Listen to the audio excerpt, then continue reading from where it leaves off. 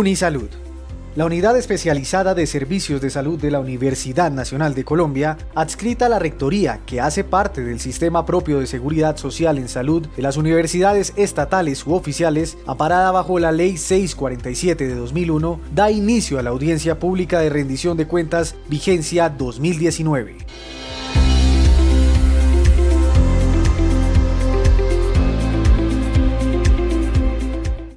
Buenos días para todos. Les agradecemos por hacer parte de esta audiencia pública de rendición de cuentas de Unisalud, la Unidad de Servicios de Salud de la Universidad Nacional de Colombia. En nombre de todo el personal médico y administrativo de las cuatro sedes de Unisalud y en mi calidad de gerente nacional de la entidad, queremos aprovechar este espacio virtual que nos da la posibilidad de llegar a todos ustedes, no importando el lugar en que se encuentre para dar a conocer nuestra gestión realizada durante la vigencia 2019 como aseguradores y prestadores de servicios de salud a los afiliados de la unidad, analizando las actividades de mayor impacto que fortalecieron el reconocimiento y credibilidad en los temas relacionados con la salud de nuestros afiliados, haciendo uso eficiente de los recursos y garantizando cobertura nacional a través de una red suficiente de prestadores y un equipo humano comprometido con la salud de todos y cada uno de los afiliados. Sin más preámbulo, demos inicio a la socialización del informe de gestión de la vigencia 2019, exponiendo el cumplimiento de los objetivos estratégicos propuestos para dar respuesta a la gestión integral del riesgo en salud de nuestros afiliados. A continuación, doy la palabra a la directora de la sede de Bogotá y a los jefes de división de las sedes de Medellín, Manizales y Palmira. Sean todos bienvenidos. Buenos días. Les damos la más cordial bienvenida a la audiencia pública de rendición de cuentas de la Unidad de Servicios de Salud Unisalud de la Universidad Nacional de Colombia. Soy Gloria Yasmín Mesías, encargada de la Dirección Sede Bogotá.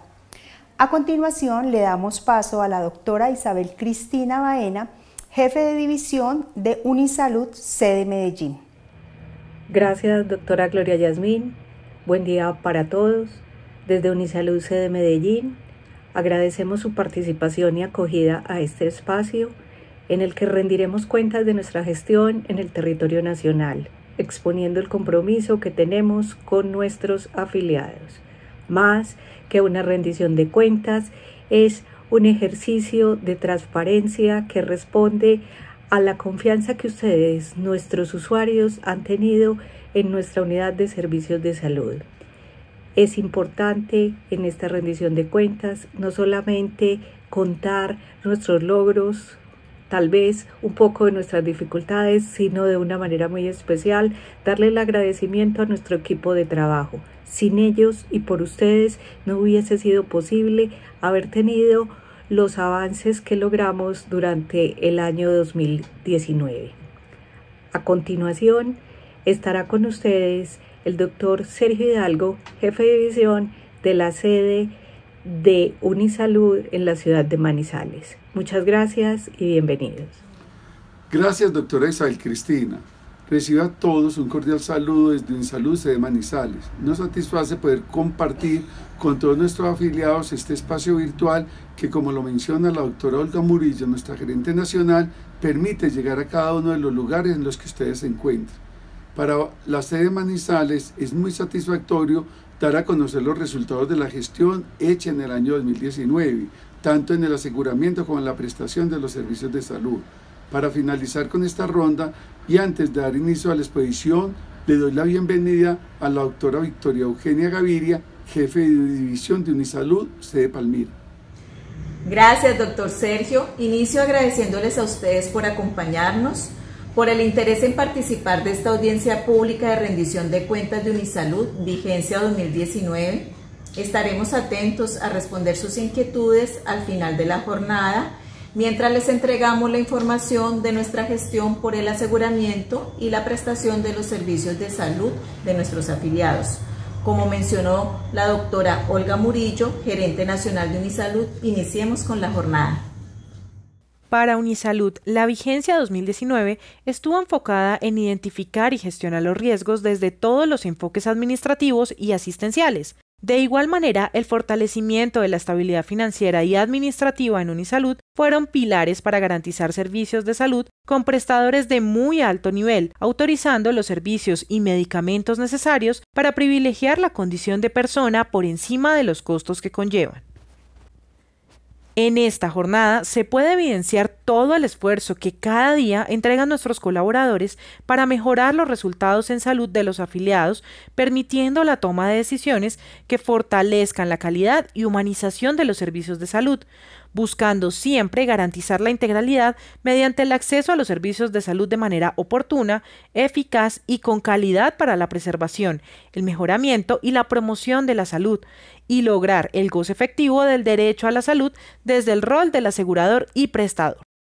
A continuación, conoceremos de primera mano los resultados de los seis objetivos estratégicos fundamentales desarrollados durante el 2019. Al finalizar esta socialización, daremos inicio a la ronda de preguntas para que todos los que nos están acompañando y quieren profundizar sobre algún aspecto en específico puedan hacerlo.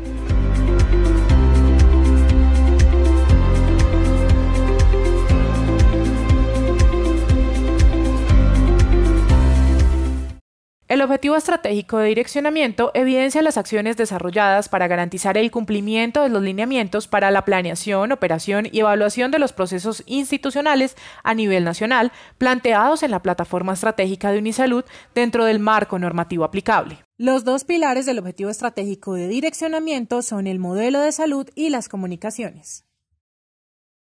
El modelo de salud enfocado en la gestión integral del riesgo en salud, basado en la gestión del conocimiento, está diseñado en respuesta a las necesidades de los afiliados a la unidad y al contexto actual de Unisalud. El modelo de salud enfocado en la gestión integral del riesgo en salud, basado en la gestión del conocimiento, está diseñado en respuesta a las necesidades de los afiliados a la unidad y al contexto actual de Unisalud. Integra las experiencias de la implementación del modelo anterior del Sistema General de Salud y los lineamientos vigentes del Ministerio de Salud y Protección Social. El modelo propende por la garantía del derecho a la salud en todo el curso de vida, propiciando el desarrollo humano integral de sus afiliados, para lo anterior, se establece que el elemento diferenciador del modelo de salud de Unisalud es el énfasis en la gestión del conocimiento como herramienta para empoderar al talento humano en salud y lograr, de esta manera, mejorar los resultados y satisfacer las necesidades en salud de los afiliados con costos razonables acordes a los resultados.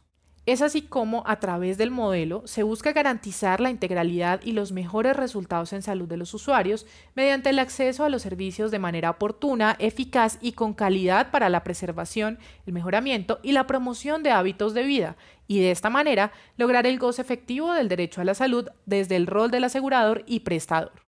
Durante la vigencia 2019 se dio continuidad a la construcción del modelo de salud, el cual propende por la garantía del derecho a la salud en todo el curso de vida, propiciando el desarrollo humano integral de sus afiliados. Su implementación integral se proyecta para un periodo de cinco años. Es importante mencionar que se actualizó el proyecto de acuerdo a los nuevos lineamientos del Ministerio de Salud y Protección Social, como la Resolución 2626 de 2019, el modelo de atención territorial Maite y las modificaciones normativas de la Resolución 3280 de 2018, dando respuesta efectiva a los requerimientos de los entes de control en este aspecto. Los componentes del modelo de salud de Unisalud y de su plan operativo son caracterización de la población, mediante el cual la unidad busca ampliar el conocimiento de la población afiliada con un alcance que supere el establecimiento del perfil demográfico y el de morbimortalidad, realizando una identificación de cohortes a partir de estrategias que permiten conocer las condiciones habitacionales, ambientales, sociales, económicas, los factores protectores y los determinantes que afectan su condición como persona. Regulación de rutas integradas de atención en salud RIAS. Mediante este componente se proyectan las atenciones mínimas que un afiliado debe recibir en los prestadores propios y en las entidades de la red que han aceptado este modelo, de acuerdo al ciclo vital en el que se encuentra, a los riesgos de padecer patologías priorizadas o a las enfermedades diagnosticadas con el fin de intervenir en la historia natural de la enfermedad, disminuyendo la afectación de la calidad de vida, el impacto en su salud y consecuentemente aumentando la sostenibilidad de la unidad. Implementación de la gestión integral del riesgo.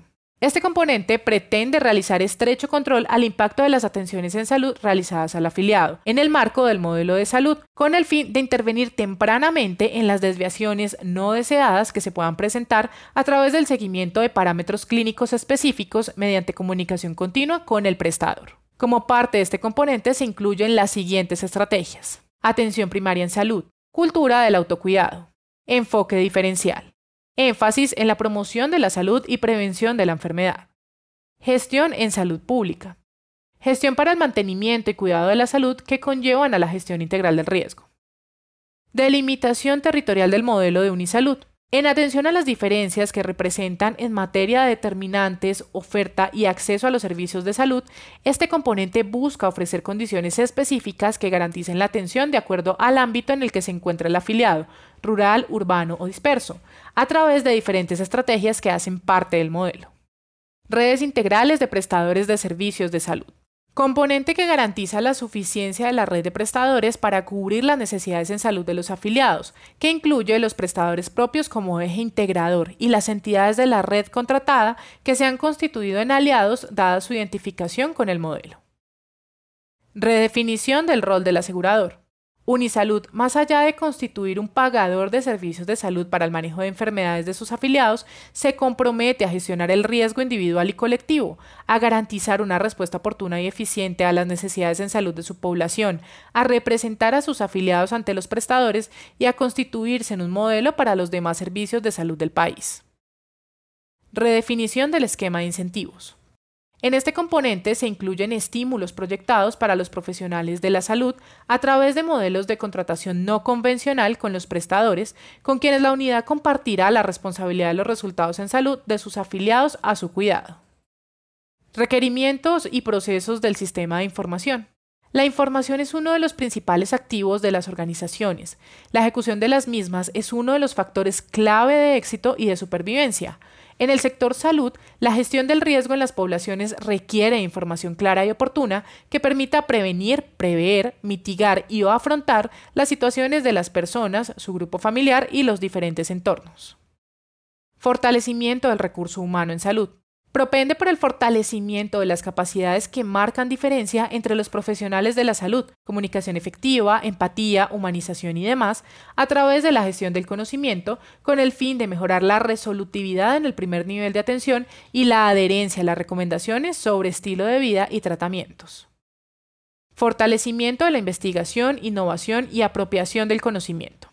La unidad, como parte de la Universidad Nacional de Colombia, evidencia diferentes oportunidades para la generación y o apropiación del conocimiento, dentro de los cuales se incluyen la definición y evaluación de RIAs propias basadas en la mejor evidencia disponible, implementación de estrategias de difusión de conocimiento a través de grupos de pacientes, evaluación de impacto de la gestión clínica en las cohortes priorizadas y demás. Mediante el desarrollo de estos componentes, los resultados esperados del modelo de salud Unisalud son Mejorar los resultados en salud de los afiliados. Satisfacer la experiencia en salud de los afiliados.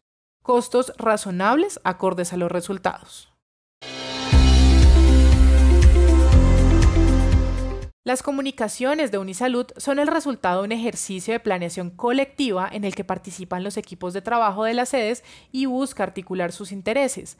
Es por ello que durante las vigencias 2018 y 2019 se construyó el plan de trabajo con los aportes de las sedes, lo que permitió priorizar los temas a nivel interno y externo. Durante la vigencia 2019, además, se continuó avanzando en la implementación de la política de comunicaciones de la unidad, trabajando en el fortalecimiento de habilidades comunicativas de los equipos de trabajo, con el fin de mejorar las relaciones entre la institución y sus audiencias. Los retos principales de la vigencia fueron fortalecer la comunicación institucional con los beneficiarios, para poder llegar a los beneficiarios de Unisalud, se gestionó la creación de grupos de destinatarios para envíos a través de correos electrónicos en cada sede. Esto permitió incluirlos en los envíos de información electrónica. De igual manera, se inició el proceso de consulta y evaluación sobre la creación de asociaciones de usuarios, con el fin de tener claridad en la normativa y las competencias de Unisalud frente a estas organizaciones.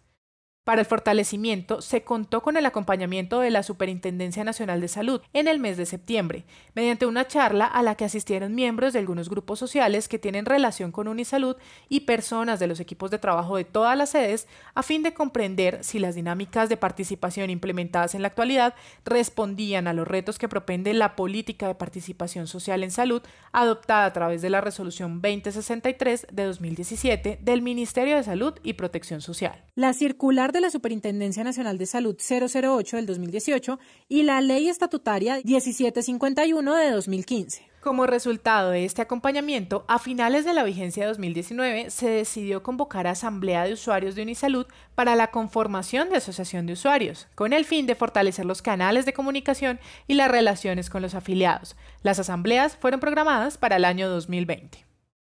Segundo, Identificación de partes interesadas con sus necesidades y expectativas.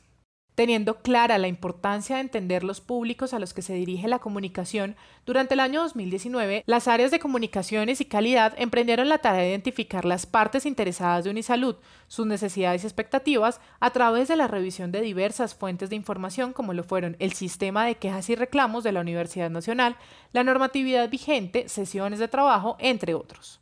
Todo lo anterior, además en sintonía con la transición impulsada por la universidad para cumplir con la estandarización de la norma ISO 9001, versión 2015, dando como resultado la caracterización de usuarios y partes interesadas de Unisalud. Tercero, creación de equipos de gestores de comunicación y calidad en cada sede. Durante la vigencia 2019 se crearon los equipos de gestores de comunicaciones y calidad en cada una de las sedes. Este modelo se había puesto en marcha como piloto en Bogotá durante el año 2018, demostrando aumentar el impacto de los procesos de comunicación en los equipos de trabajo. Las acciones de estos equipos se basaron en el cumplimiento de retos que invitaban a la revisión de temas, según el plan de comunicaciones, y a la reflexión de los mismos al interior de los equipos de trabajo, impulsando el reconocimiento del rol del comunicador que tiene cada servidor público tratando temas como derechos y deberes de los usuarios, valores de Unisalud, canales de atención al usuario, mapa de flujo de procesos, seguridad de la información, seguridad del paciente, clima organizacional, habilidades de comunicación, rendición de cuentas, uso del sitio web de Unisalud, atención al usuario. Unisalud tiene la responsabilidad de mantener informados a los usuarios y demás públicos sobre las novedades institucionales. Para ello se trabajó en la producción de piezas y escenarios de comunicación que fueron difundidos a través de los medios disponibles como página web, carteleras digitales, carteleras físicas, conexión salud. Asimismo, el área de comunicaciones de Unisalud realiza acciones permanentes con el fin de mantener activas y vigentes las relaciones con sus públicos de interés. Esto a través de Organización de audiencias públicas de rendición de cuentas. Actualmente se organiza una reunión que permite la interacción de los interesados con las directivas de la institución, dando cumplimiento a lo establecido normativamente. Hablemos de Unisalud. Son eventos que se realizan en cada una de las sedes y que son usados para divulgar información sobre el sector y la institución entre los miembros de los equipos de trabajo. En el caso de Bogotá, el área de comunicaciones ha sido la encargada de coordinar la logística de dicha actividad que se realiza dos veces al año. Conexión Salud. Es una producción radial realizada por el área de comunicaciones de Unisalud con el apoyo de UN Radio. Está al aire desde el 14 de abril de 2017. Se emite en Bogotá por 98.5 FM los martes a las 9.30 de la mañana y los jueves en Medellín por los 100.4 FM a las 7.30 de la noche. Durante la vigencia 2019, en los programas que se emitieron de Conexión Salud participaron docentes de la universidad y expertos nacionales e internacionales. Según estadísticas de UN Radio, los programas del primer semestre de Conexión Salud tuvieron 26.207 visitas web. Novedades del servicio. Con el objetivo de informar a los usuarios sobre cambios relacionados con la rutina de los servicios, se han realizado piezas comunicativas que son enviadas por correo electrónico y fijadas en carteleras o en los espacios afectados sitio web. Se ha trabajado permanentemente por convertir este canal en un espacio de consulta para los públicos de interés. Según el reporte de Google Analytics, desde el 1 de enero hasta el 31 de diciembre de 2019 se recibieron 160.595 visitas, es decir, un promedio de 13.382 visitas mensuales.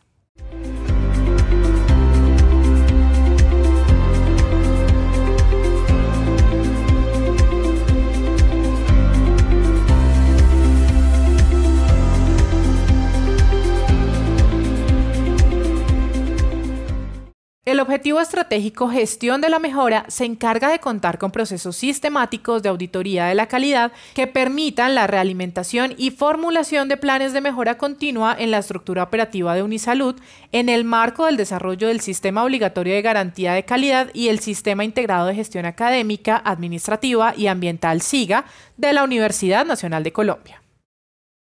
El programa de auditorías para el mejoramiento continuo de la calidad PAMEC, si bien es un requisito de la norma del Sistema Obligatorio de Garantías de Calidad en Salud, se ha convertido en el instrumento que permite consolidar la cultura preventiva a través de la identificación y gestión de los riesgos para el aseguramiento y la prestación y tener control de los mismos a través del seguimiento de los planes de tratamiento establecidos para su gestión. Dentro de los resultados obtenidos del PAMEC tenemos Dar continuidad a la auditoría de calidad de los registros en la historia clínica. Fortalecer la auditoría de cuentas médicas para mitigar el riesgo de desequilibrio financiero. El reforzar la cultura del conocimiento y el aprendizaje mediante capacitaciones a los colaboradores. En el seguimiento a planes de tratamiento de riesgos, desde el primer semestre de 2018 se identificaron en total 15 riesgos, definiendo un plan de tratamiento compuesto por 44 acciones, de las cuales 35 iniciaron su implementación durante el segundo semestre de 2018 y las restantes durante el 2019 en conjunto a aquellas que son de ejecución continua. Atención al usuario. Los referentes de atención al usuario en las diferentes sedes y el área de referencia y contrarreferencia brindan apoyo a usuarios que manifiestan inconvenientes en la comunicación con entidades de la red o cuando existen problemas relacionados con la oportunidad en la programación de citas, realizando gestión ante la entidad prestadora para dar solución de manera ágil e inmediata a las necesidades de los afiliados. En el 2019 se puede evidenciar cómo se trabajó por la libre expresión para determinar falencias en los servicios y fortalecerlos, esto con un nuevo canal para la erradicación de PQRs como lo es Aranda. El objetivo de este tipo de espacios es disminuir las distancias con los usuarios y facilitar los procesos para la erradicación de las manifestaciones.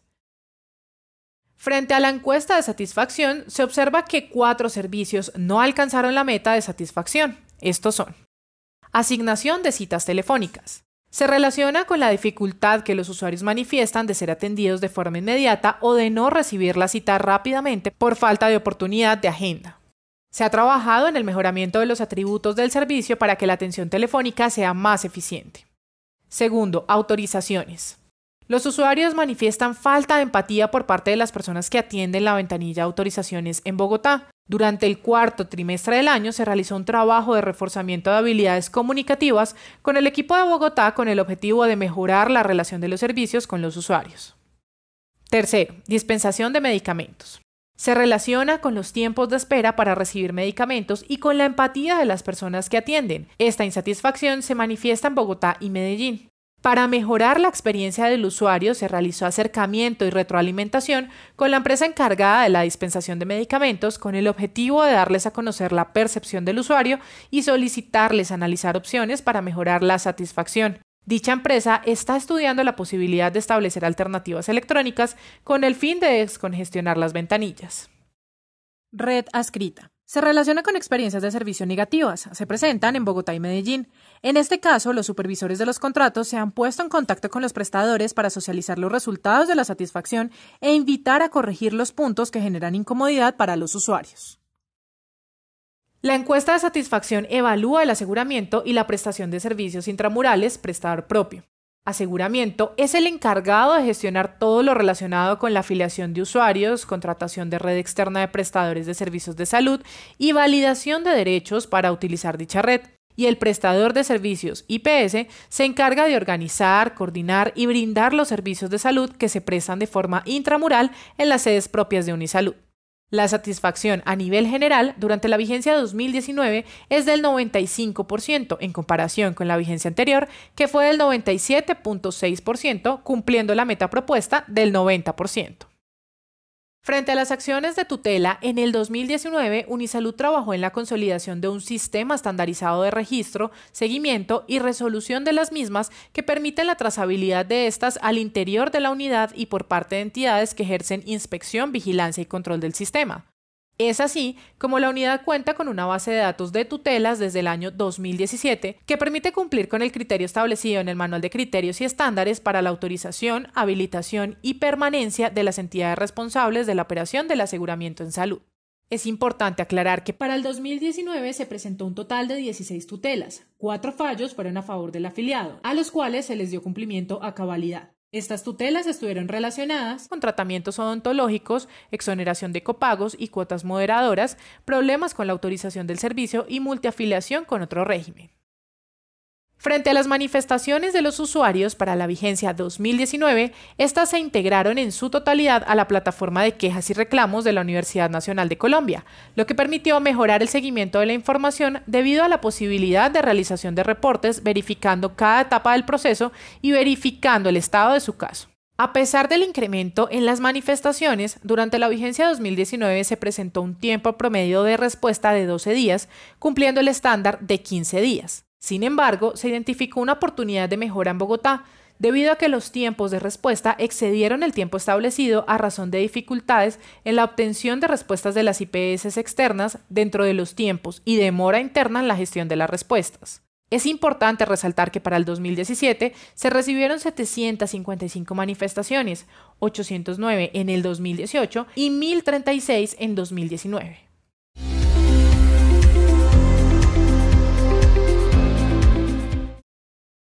La mayor cantidad de manifestaciones se concentra en el aseguramiento y esto se debe a situaciones relacionadas con la red de prestadores de servicios contratada, gran cantidad de veces relacionada con la oportunidad en la asignación de citas.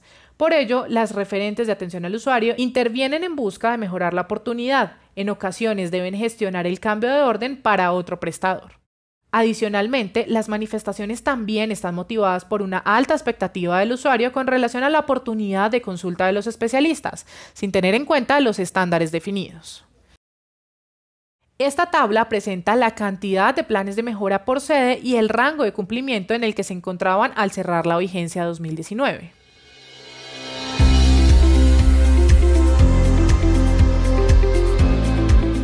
Frente a las cifras, es importante resaltar que el porcentaje de planes de mejora que fueron ejecutados al 100% fue del 65.38% con 34 planes, aumentando con respecto al 2018, donde fue del 26.41% con 14 planes, lo que evidencia el fortalecimiento, no solo por el correcto establecimiento de acciones y metas que sean alcanzables, sino que también este resultado da muestra del seguimiento que se hace para garantizar el cumplimiento.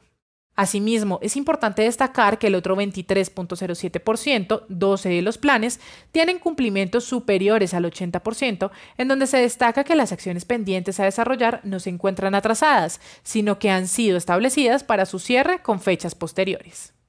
El número total de planes de mejora se puede decir que se mantiene con respecto a la vigencia 2018, lo que evidencia el compromiso de las sedes y todos los integrantes del proceso en mantener la identificación de acciones que corrijan o prevengan posibles situaciones de fallas. Para finalizar, como oportunidad de mejora se puede reconocer para la vigencia 2019 que todas las manifestaciones que son radicadas para Unisalud son tratadas de manera particular, sin embargo, se analizan tendencias con el objetivo de poder plantear soluciones de fondo para que el usuario tenga una experiencia de servicio satisfactoria. Durante la vigencia 2019 se identifica una oportunidad de mejora en los tiempos de respuesta de la sede Bogotá. Para ello se debe fortalecer el seguimiento y control de los tiempos en los diversos momentos de la gestión. El mejoramiento de la oportunidad en la asignación de citas se seguirá trabajando con las IPS con el fin de poder mejorar la experiencia de servicio de los afiliados.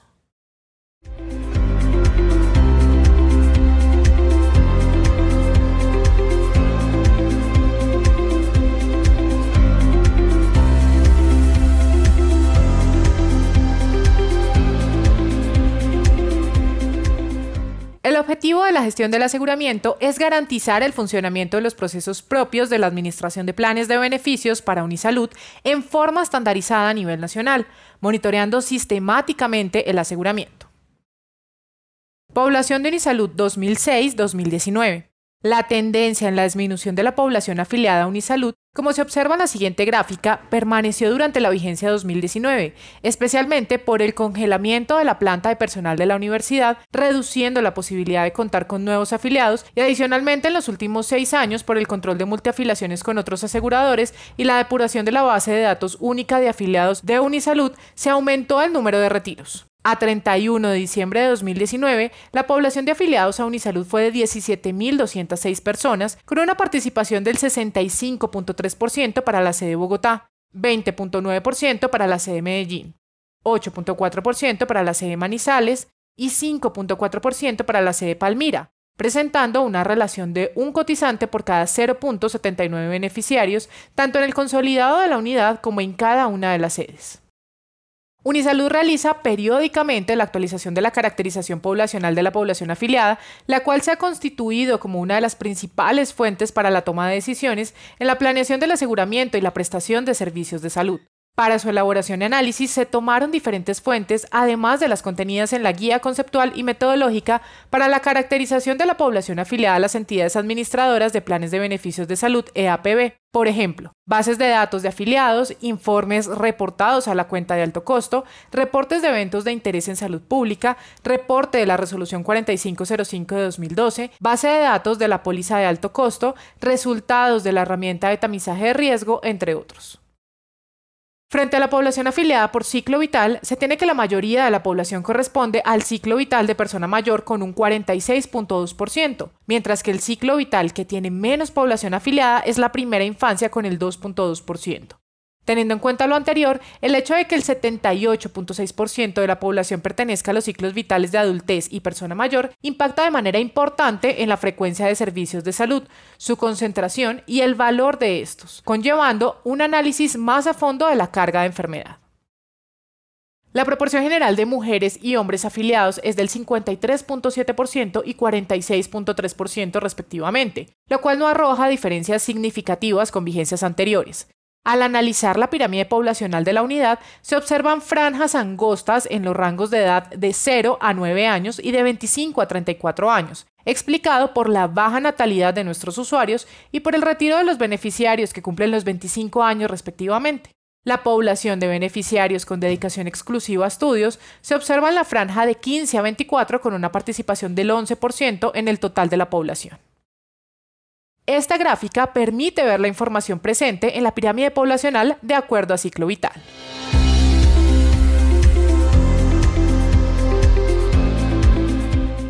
Distribución de afiliados por tipo de afiliación.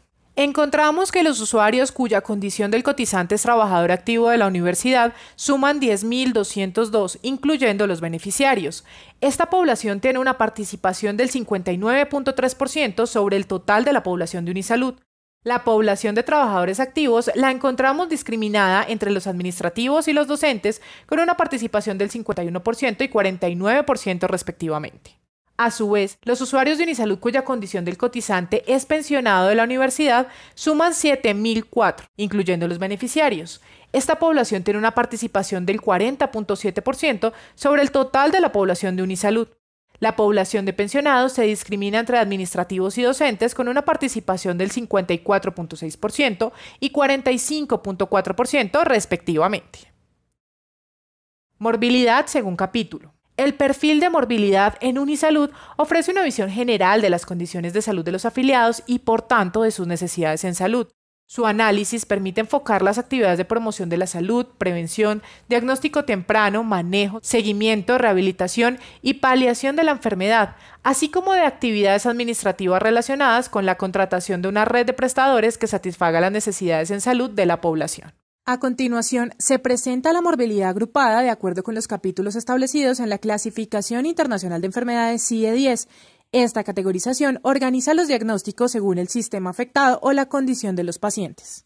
En concordancia con la información del año 2018, los cinco grandes grupos en orden de frecuencia de atenciones realizadas corresponden a patologías crónicas, degenerativas y progresivamente incapacitantes, lo cual se correlaciona estrechamente con la estructura poblacional de los afiliados. Morbilidad según diagnóstico. De los 68.169 diagnósticos pertenecientes al grupo enfermedades del sistema circulatorio contenidos en los RIPS 2019, los 10 primeros relacionados en el cuadro corresponden al 92.33% y se encuentran estrechamente conexos con las características epidemiológicas de la población afiliada a la unidad.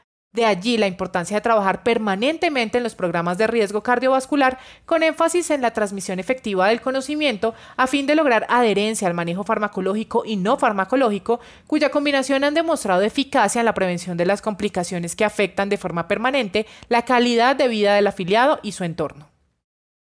La unidad tiene identificados 5.298 afiliados con diagnóstico de hipertensión, de los cuales 164 no acudieron al seguimiento durante el año 2019. Con el fin de maximizar el impacto de las atenciones del programa de riesgo cardiovascular, se continuó con la estrategia de seguimiento trimestral a los afiliados que en los últimos 12 meses no hayan tenido control por medicina o enfermería, mediante la cual se realiza búsqueda activa, encontrando que algunos usuarios reciben tratamiento de una empresa de medicina prepagada. Otros residen en el exterior. Algunos afiliados consultan exclusivamente la red adscrita, perdiendo la oportunidad de integralidad en la atención ofrecida en los prestadores propios, y un grupo no ha sido ubicado por no contar con datos de contacto actualizados. La incidencia de hipertensión arterial en la población afiliada a Unisalud para la vigencia 2018 fue de 1.5%. Para el 2019 fue de 0.4%. Esta diferencia de la incidencia se debió a que en el 2018 se hizo una búsqueda activa de afiliados consultantes o no consultantes con cifras tensionales altas. Por su parte, la prevalencia en 2018 correspondió al 27.4% y para el 2019 pasó al 30.8%, asociado nuevamente a la tendencia al envejecimiento de la población afiliada y requiriendo maximizar esfuerzos que contribuyan a evitar progresión de la enfermedad y aparición de complicaciones. Egresos por sede. De acuerdo con los datos reportados por las sedes para el año 2019, se produjeron 1.713 egresos hospitalarios en 1.270 pacientes, frente a los 1.752 egresos y 1.299 pacientes reportados en la vigencia anterior, lo que corresponde a una disminución del 2.2% en el número de hospitalizaciones a nivel nacional. El comportamiento de las sedes muestra disminución en el número de hospitalizaciones en las sedes Medellín y Bogotá, con 63 y 14 hospitalizaciones menos que en la vigencia anterior respectivamente, y se incrementó en las sedes Manizales y Palmira, con 32 y 6 hospitalizaciones más en la vigencia 2019 respectivamente. El promedio nacional de días por hospitalización en la vigencia 2019 fue de 6 días, la sede de Medellín ostenta un promedio superior relacionado con las comorbilidades de los afiliados que requirieron este servicio. Como en la vigencia anterior, los ingresos asociados a hospitalizaciones con estancias superiores a 30 días corresponden en orden de frecuencia a pacientes con enfermedades y trastornos mentales, secuelas de eventos cerebrovasculares, patologías oncológicas, sepsis y pacientes con alto número de comorbilidades.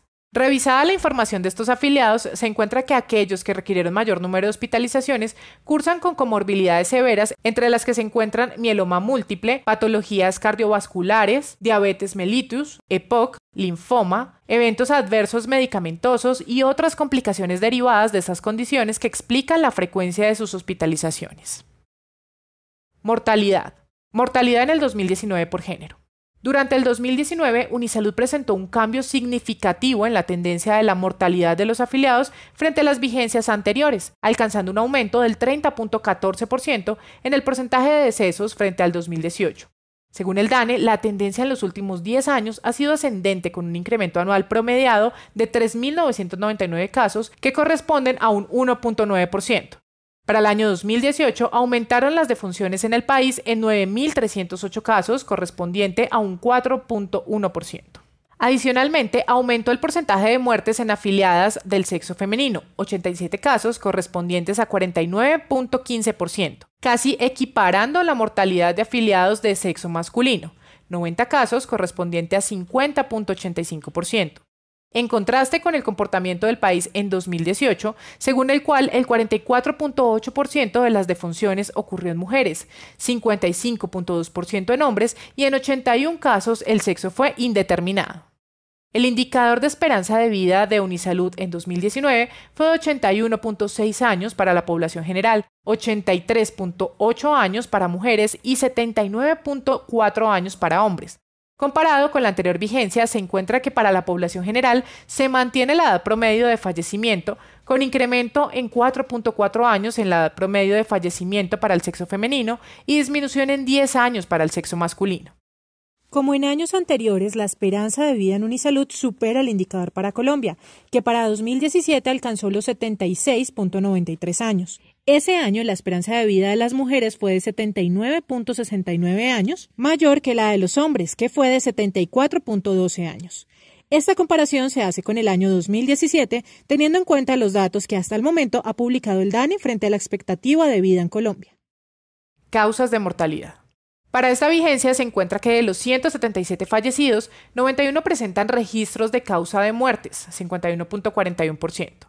Sin embargo, debido a que un mismo diagnóstico puede ser registrado con diferentes códigos según la clasificación internacional de enfermedades, por ello, para este informe se presentan las causas de muerte clasificadas por grandes grupos. En la tabla se puede observar que las causas de muerte más frecuentes para Unisalud en la vigencia 2019 correspondieron a enfermedades crónicas del sistema circulatorio, patologías oncológicas y enfermedades crónicas del sistema respiratorio con relación a la caracterización de los afiliados a la unidad. Se confirman los hallazgos anteriores al observar las causas de muerte según diagnóstico CIE-10, dado que, en orden de frecuencia, el infarto agudo de miocardio y la enfermedad pulmonar obstructiva crónica representan el 4.52% cada uno, 8 fallecimientos por diagnóstico. La insuficiencia cardíaca congestiva representa un 2.26%, 4 muertes. El carcinoma de hígado representa el 1.69%, 3 casos. Y el cáncer de próstata 1.13%, 2 muertes por diagnóstico. Como dato relevante, en la vigencia 2019 se produjo el primer deceso por infección de H1N1 en un afiliado a Unisalud, quien presentó insuficiencia respiratoria severa y falla multisistémica. Comité Técnico Científico CTC podemos observar un cambio en la tendencia en el número de solicitudes al CTC en el 2019, en el cual se produjo una disminución en el número a nivel nacional, el cual se atribuyó a la actualización anual en las últimas cinco vigencias de los servicios y tecnologías de salud financiados con recursos de la unidad de pago por capitación, conocido anteriormente como el Plan de Beneficios en Salud y ahora denominados mecanismos de protección colectiva por parte del Ministerio de Salud y Protección Social. En la vigencia se analizaron 11.533 solicitudes frente a las 12.518 en 2018, que representan reducción en 7.86% a nivel nacional. Durante la vigencia 2019 se realizaron en Unisalud 213 sesiones del CTC frente a 218 sesiones realizadas en la vigencia anterior. El porcentaje de casos aprobados corresponde al 93.73%, casos no autorizados al 4.63% y casos aplazados al 1.63%. Así las cosas, frente a la vigencia anterior se encuentra disminución en el porcentaje de casos aprobados en 1.37% e incremento en el porcentaje de aplazamientos en 0.58% y en las negaciones en 0.83%. Es de anotar que los casos aplazados se resolvieron en un término no superior a un mes de haber sido solicitados. Debemos aclarar que la sede Palmira informa que durante el piloto de prórroga anticipada de solicitudes se clasificó dentro de las 91 solicitudes no autorizadas, 84.6%, que corresponden realmente a las prórrogas de medicamentos que no se autorizaron anticipadamente, bien sea porque se evidenció que el paciente no tuvo adherencia o porque ya se había completado el tratamiento. Estos casos se remitieron al médico tratante para definir continuidad. Así las cosas, realmente se produjeron 14 negaciones correspondientes al 2.5% del total de las solicitudes. De acuerdo a la normativa propia, el CTC debe sesionar como mínimo una vez por semana. Se mantienen estrategias que permiten que las respuestas a las solicitudes se encuentren en un promedio de 5.8 días, permaneciendo estable frente al periodo anterior, 5.6 días. Como en vigencias anteriores, los medicamentos más frecuentes solicitados y aprobados por el CTC corresponden a medicamentos para manejo de patologías osteomusculares degenerativas del tipo osteoporosis, déficit de vitamina D, manejo de medicamentos para el dolor crónico, medicamentos con efecto anticoagulante o antiagregante, medicamentos para patologías respiratorias crónicas y para ese periodo ingresa el grupo la rifaximina, antibiótico semisintético para el manejo de diarrea del viajero, enteritis y manejo de encefalopatía hepática. Todas las patologías enunciadas corresponden a enfermedades crónicas y degenerativas que se correlacionan con las características del porcentaje más alto de afiliados a la unidad y por lo tanto con el perfil de morbilidad. En general, no existen medicamentos contenidos en el plan de beneficios que pudieran sustituir estas moléculas. Facturación de medicamentos. En términos económicos, se produjo una disminución del 2.13% correspondiente a 155.111.168 pesos en el costo de medicamentos y dispositivos aprobados por el CTC frente a la vigencia anterior, tomando como referencia el valor total bruto de facturación de medicamentos y dispositivos dispensados por los operadores logísticos, situación que no se había presentado en vigencias anteriores. Con relación al peso de medicamentos y dispositivos aprobados por CTC frente al costo total de facturación por este concepto, encontramos que este es algo más del 4%, pasando de 49.93% en 2018 a 45.86% en 2019. Esta variación se relaciona con el ingreso de medicamentos y dispositivos al anteriormente llamado plan de beneficios y a la regulación de precios. Analizando el comportamiento por sedes, se encuentra que en todas se disminuyó el impacto de los medicamentos y dispositivos aprobados por CTC en el costo total de medicamentos y dispositivos médicos, siendo de mayor relevancia las disminuciones en las sedes Manizales y Palmira. Estas sedes asocian este resultado al exhaustivo análisis de los integrantes del CTC de la pertinencia de cada una de las solicitudes, procurando que las patologías cuenten con el tratamiento escalonado antes de iniciar un nuevo medicamento, teniendo en cuenta además que las moléculas de reciente lanzamiento en más de una ocasión han debido ser retiradas del mercado por haber generado problemas de seguridad, dado que no cuentan con suficientes estudios en vivo. Además, como se había mencionado anteriormente, cada año se cuenta con un plan de beneficios más amplio de tal manera que moléculas que antes impactaban la facturación por CTC ahora superan el IPC general. Facturación de medicamentos. En las últimas dos vigencias se ha observado disminución en el porcentaje de incremento de la facturación por concepto de medicamentos y dispositivos médicos que se relaciona con el incremento en el número de productos sujetos a regulación por parte de la Comisión Nacional de Precios de Medicamentos y Dispositivos Médicos, situación que ocasionó que algo más del 40% de los medicamentos incluidos actualmente en la negociación con el distribuidor nacional sean objeto de esta medida. De acuerdo con la base de datos de afiliados a Unisalud con corte a 31 de diciembre, se encontraron afiliados residentes en 171 municipios de 26 de los 32 departamentos del país. La cobertura de red aumentó en el 2019 del 67% al 71% comparado con el 2018 como consecuencia de los esfuerzos realizados para contratar entidades en municipios en los que confluyen usuarios de diferentes zonas aledañas. Actualmente Unisalud cuenta con IPS contratadas directamente en 21 de los 26 departamentos de residencia de los afiliados, lo cual corresponde a una cobertura por departamento del 80.8% frente al 76.9% reportado en la vigencia anterior. La mayor concentración se encuentra en los departamentos de Cundinamarca, Antioquia, Caldas y Valle, en cuyas capitales se ubican las sedes andinas de la universidad y las cuatro sedes de Unisalud seguidos por aquellos departamentos en los cuales se cuenta con institutos o museos, Boyacá y Chocó, en los que la universidad tiene sus sedes de frontera, Caribe, Amazonía, Tumaco, Orinoquía, y en la sede de La Paz. Reportes de obligatorio cumplimiento, sistema de información y auditorías subsecuentes. Los reportes de la vigencia se realizaron de acuerdo con los parámetros y plazos establecidos, y como consecuencia de los informes se atendieron las auditorías de los entes de control que evalúan la veracidad y calidad de la información entregada en los reportes y que en general han referido conformidad con el cumplimiento de los parámetros evaluados. De la misma forma, se dio respuesta a las acciones derivadas de nuevos requerimientos normativos y de aquellos emitidos por los entes territoriales durante la vigencia. Actividades de salud pública implementadas durante la vigencia.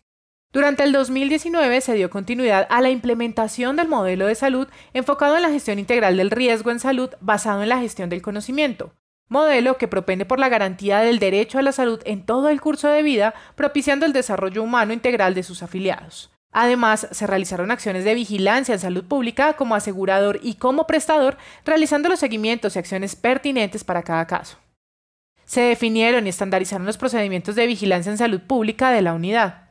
Se continuó con el fortalecimiento de la cultura de la detección temprana y la protección específica y se inició el ajuste de las actividades acordes con la resolución 3280 de 2018 y normas que la modificaron. Unisalud mantiene el 16.6% de su capacidad instalada dedicada a actividades de protección específica y detección temprana. Se generaron espacios de participación ciudadana. Se realizó evaluación y promoción del acceso equitativo a los servicios de salud necesarios. Se promovió aprendizaje para el desarrollo del recurso humano en temas de salud pública. Con la participación activa de todo el equipo de Unisalud, se continuaron las actividades tendientes al mejoramiento de la calidad de los servicios de salud. Se participó en actividades desplegadas por el Comité de Prevención de Riesgo y Atención de la Emergencia de la Universidad Nacional de Colombia con el fin de minimizar el impacto de posibles emergencias y desastres en la comunidad universitaria. Unisalud tiene a su cargo la Secretaría Técnica del Comité de Seguridad del Paciente, desde el cual se fomenta la cultura de la seguridad del paciente en la comunidad universitaria, se promueve el reporte y gestión de los eventos relacionados y la integración de las diferentes dependencias que prestan servicios de salud en las diferentes sedes de la universidad. Desde el 2017, el comité trabaja en la creación del Sistema de Seguridad del Paciente de la Universidad Nacional. Seguimiento a los afiliados con enfermedades de interés en salud pública. Unisalud realiza vigilancia epidemiológica de los reportes realizados a nivel nacional por prestadores de la red y externos a ella a través del CIVIGILA, gestionando el seguimiento de los afiliados objeto de reporte para verificar la integralidad de la atención recibida, derivar a servicios de salud, realizar inclusión en programas o rutas integrales de atención en salud según pertinencia y monitorear su estado de salud. Predominan las mordeduras por animales potencialmente transmisores de rabia, enfermedades infectocontagiosas y violencias estas últimas en seguimiento psicosocial en cada una de las sedes. El reporte de enfermedades huérfanas obedece a que se introdujo normatividad que obligó a reportar enfermedades del tipo miastena gravis, hepatitis autoinmunes y otras diagnosticadas previamente para dar cumplimiento al lineamiento.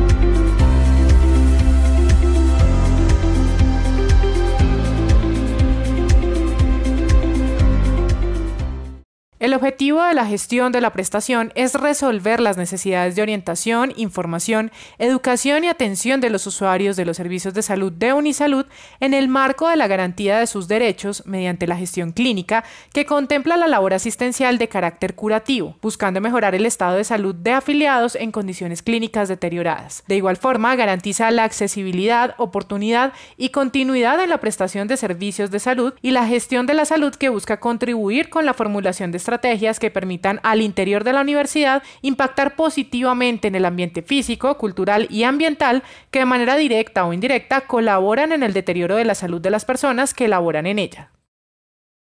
La normatividad vigente contempla, como uno de los componentes esenciales del sistema obligatorio de garantía de calidad, la habilitación de los servicios de salud, durante la vigencia de 2019 se produjo la transición para la aplicación entre la Resolución 2300 de 2014 y la Resolución 3100 de 2019, ambas del Ministerio de Salud y Protección Social, las cuales implican el cumplimiento de estándares, condiciones y requisitos para autorizar la prestación de servicios de salud de acuerdo con el nivel de complejidad de cada prestador, así como el mantenimiento de dichas condiciones en el tiempo para garantizar la permanencia de los prestadores en el sistema. De acuerdo al anterior, cada una de las sedes realizó esfuerzos permanentes para mantener las condiciones y cumplimiento de los estándares exigidos. Actividad realizada durante las reuniones de los equipos de las jefaturas de las sedes Medellín, Manizales y Palmira, de la dirección de sede Bogotá y de manera permanente bajo el monitoreo de la Gerencia Nacional con el propósito de ofrecer seguridad en la atención de los afiliados. Para la vigencia de 2020, el reto consiste en ajustar los estándares a la Resolución 3100 de 2019 del Ministerio de Salud y Protección Social, para la cual, como se había anticipado, se encuentra en periodo de transitoriedad para los prestadores de servicios de salud. Las adecuaciones de la infraestructura en las sedes Bogotá y Medellín representan la mayor dificultad, dado que se encuentran en construcciones antiguas que no cumplen los nuevos requerimientos. Discriminación de servicios habilitados, vigencia 2019. De acuerdo a las características de los afiliados, a las condiciones de la región y a la infraestructura de las sedes, se habilitan diferentes servicios en los prestadores propios, privilegiando el primer nivel de atención y de los servicios relacionados con protección específica y detección temprana, de acuerdo al modelo de salud vigente en la unidad.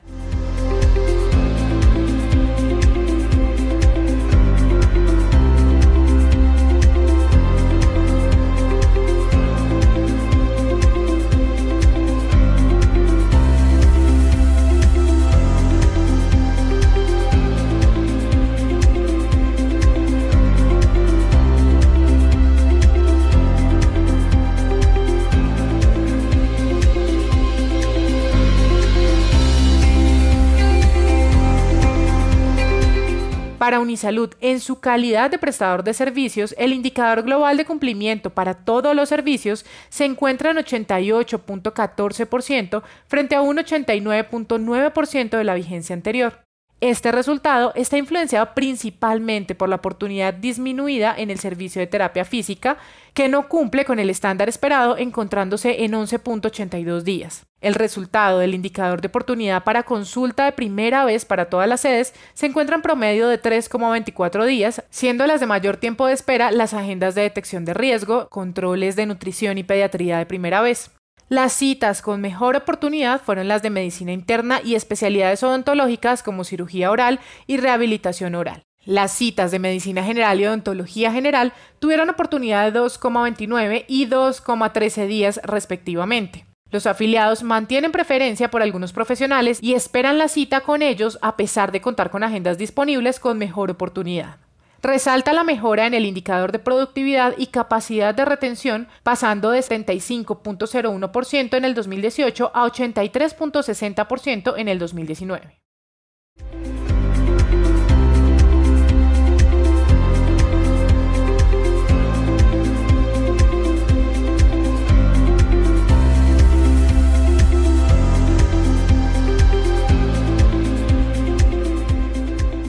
El objetivo estratégico gestión financiera expone las acciones realizadas para operar en condiciones de sostenibilidad financiera a través del funcionamiento estructurado y articulado de las fases del proceso.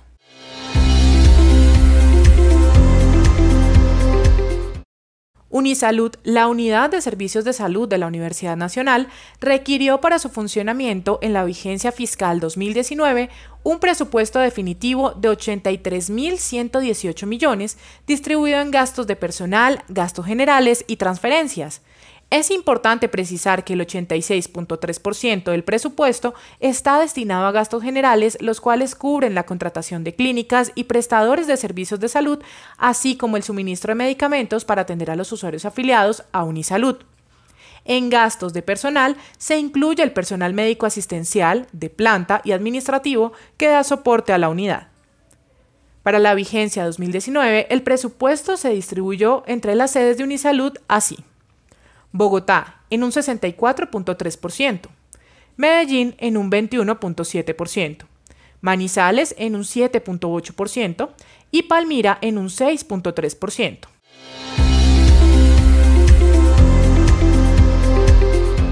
El presupuesto de ingresos consolidado de 2019 asciende a 83.118 millones, de los cuales el 88% corresponde a recursos corrientes y el 12% a recursos de capital. La ejecución del presupuesto de ingresos ascendió 80.129 millones, equivalente al 96.4% del aforo. Esta ejecución incluye el recaudo de aportes afiliados patronales y pensionados en un 95.5%, cuotas moderadoras, copagos y plan complementario en un 101.3%, recobro de pólizas, devolución del IVA y otros en un 101.5% rendimientos financieros en un 98%, excedentes financieros en el 100%, recuperación cartera y donaciones en un 100%.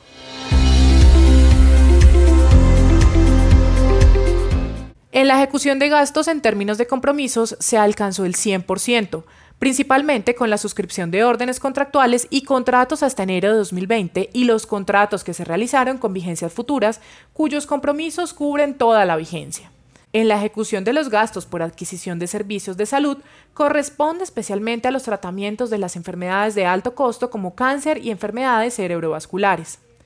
Estas enfermedades requieren atención en instituciones de alta complejidad, condiciones que conllevan a costos elevados. Igualmente se ejecutó un plan de compra satisfactorio, tanto de materiales y suministros, atendiendo los requerimientos de las diferentes áreas de la unidad. Este plan también incluyó la compra de equipos administrativos y se adquirieron equipos de servicios asistenciales. En las transferencias se ejecutaron lo correspondiente a conciliaciones aprobadas por el Comité de Conciliación de la Universidad Nacional de Colombia. Para finalizar, frente al comparativo de gastos de una vigencia a otra, en los gastos de personal se observa un incremento del 2.3%, el cual obedece principalmente al incremento del salario de la vigencia. En el nivel de ejecución de gastos con respecto a la adquisición y suministros de medicamentos se incrementó en la vigencia 2019 debido al nivel de morbilidad y necesidad de aprobación de medicamentos que han surtido el trámite ante el Comité Técnico Científico CTC de Unisalud, así como el desabastecimiento de moléculas negociadas lo que conllevó a adquirir segundas y terceras opciones a mayores costos con el operador logístico para el suministro de medicamentos. En transferencias se observa un incremento del 452.1%, que corresponde al pago del rubro de sentencias y conciliaciones correspondiente a las conciliaciones aprobadas por el Comité de Conciliación de la Universidad Nacional de Colombia tramitadas ante la Superintendencia y la Procuraduría General con los prestadores de salud.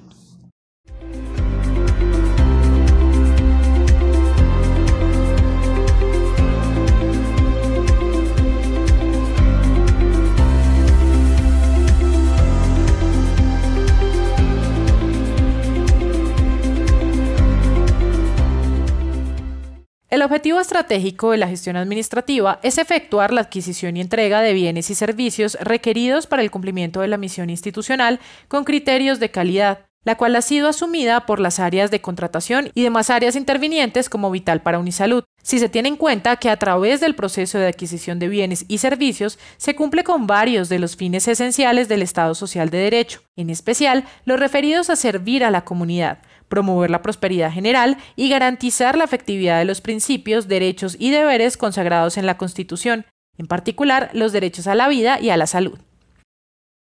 A partir del resultado presentado en el informe consolidado de auditoría del 13 de diciembre de 2019, encontramos los siguientes resultados cuantitativos en relación con el objetivo estratégico de gestión administrativa.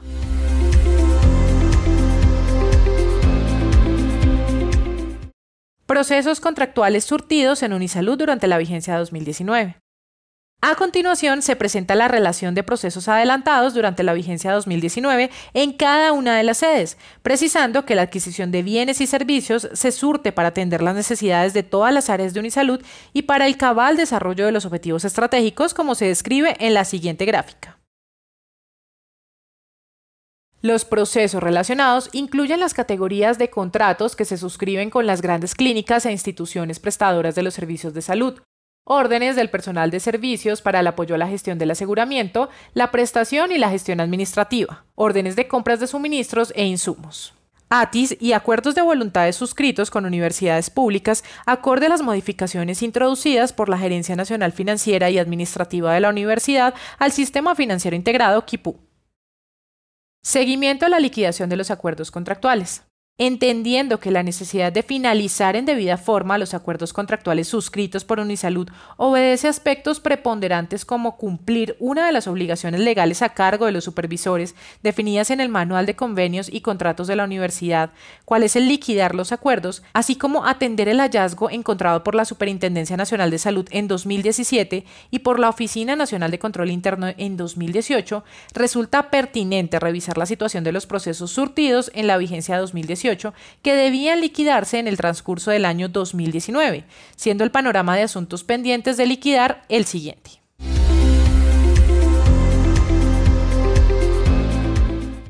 Implementación del nuevo modelo de servicios y gestión de la contratación de la Universidad Nacional de Colombia conscientes del reto propuesto por la Gerencia Nacional Financiera y Administrativa de la Universidad Nacional de Colombia de ofrecer a los usuarios un nuevo modelo de servicio enfocado en la centralización del proceso precontractual en las áreas de contratación, en la categoría de órdenes contractuales, mediante una asesoría previa e idónea por parte de un equipo de personas especializadas y capacitadas, con el fin de lograr la satisfacción de los usuarios, evitar reprocesos, reducir tiempos, garantizar pluralidad de oferentes y lograr ahorros en las adquisiciones, Unisalud desde el mes de octubre de 2018 inició el proceso de concientización de una gran mejora en aras de prestar un mejor servicio en el desarrollo del proceso de adquisición de bienes y servicios.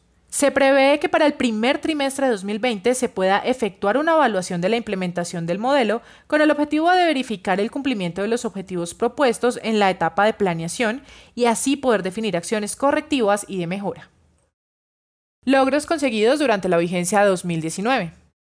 El principal logro lo constituye la contratación de una red de servicios de salud que cumple con los atributos de la calidad en la atención, accesibilidad, oportunidad, seguridad, pertinencia, continuidad y satisfacción del usuario. Las actividades de autocontrol propuestas y sostenidas desde el año 2015 hicieron que empezara a surgir una cultura de seguimiento y control en la ejecución de los acuerdos celebrados, que se espera se siga consolidando y rinda sus frutos a mediano plazo en particular en lo referido a la liquidación de los acuerdos contractuales, tarea del resorte de los supervisores y la realización de auditorías periódicas del proceso tendientes a lograr una excelencia en el proceso.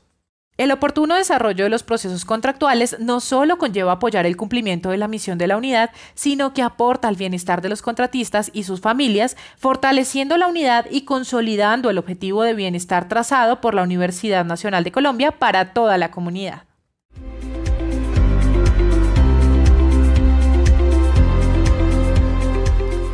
Para quienes laboramos en Unisalud sabemos la importancia de ofrecer un servicio de calidad, tanto a nuestros usuarios internos como a nuestros usuarios externos. Por eso nuestro reto diario es trabajar en la comunicación, el compromiso, la tolerancia y el respeto.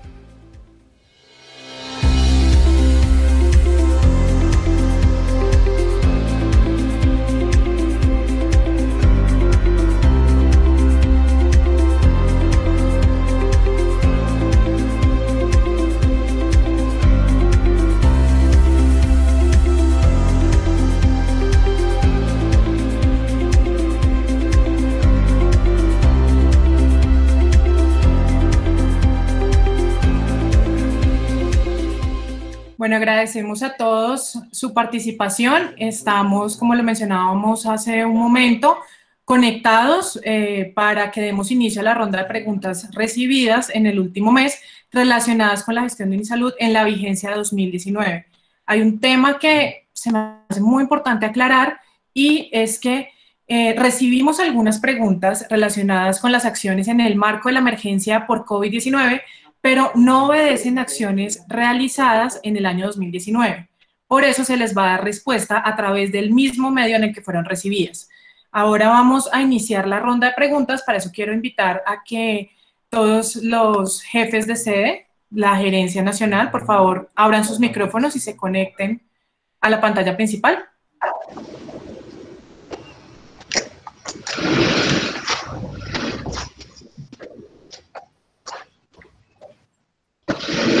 Yo ya. Sí, señora, ya se ve la doctora eh, Olga Murillo, ya está la doctora Gloria Yasmín, está la doctora Isabel Cristina.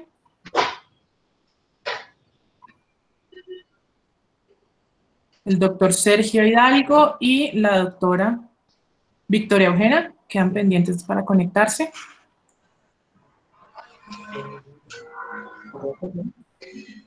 Doctora Victoria Eugenia. Quedamos pendientes del doctor Sergio.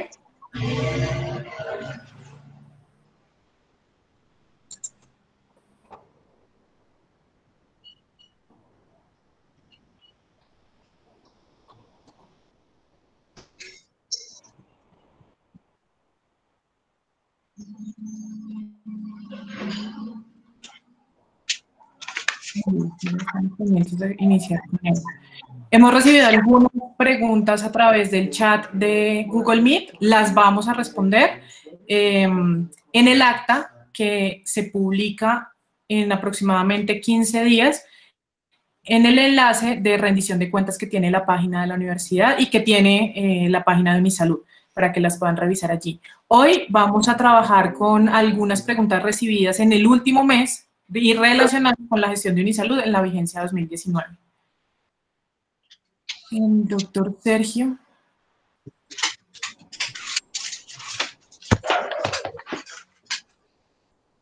Bueno, mientras el doctor Sergio se conecta, em, quiero que iniciemos con la gerente nacional de Unisalud, con la doctora Olga Murillo. Tenemos una pregunta que queremos que nos ayude a aclararla y es, ¿por qué mi hijo, después de cumplir 25 años de edad, no puede continuar siendo afiliado a Unisalud?